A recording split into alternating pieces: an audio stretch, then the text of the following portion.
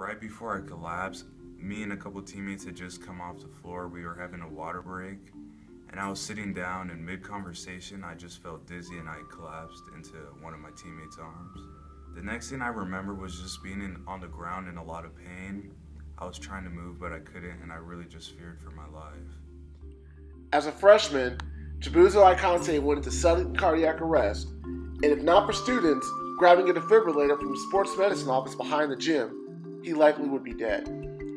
He was diagnosed with an enlarged heart muscle and was told he would never play basketball again. Undeterred, he began working to change that one step at a time. Uh, it was a very, very, very long, excruciating process.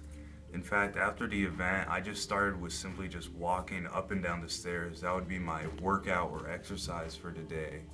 And eventually, I just built myself up stamina wise and mentally to reach the point where I could jog, run, and even get back on the court doing just drills and shooting. After two and a half years of rehab, in January, he got the news he was waiting to hear when the doctor cleared and began practicing with Valencia. I was just overwhelmed with joy. I was so thankful and I just couldn't believe that it was actually happening and the day that I dreamed about was actually coming true.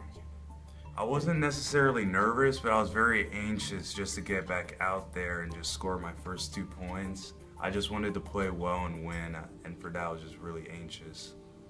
Ikonte scored 24 points in his varsity debut, and Valencia has gone 3 and 1 in his four games.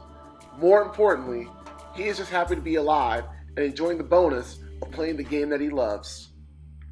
Uh, what I learned the most was just through the good and the bad, you know, you just got to keep your head up, stay confident, and just find the positive and good things in life because the good things always outweigh the bad, so we shouldn't just focus on the negative things.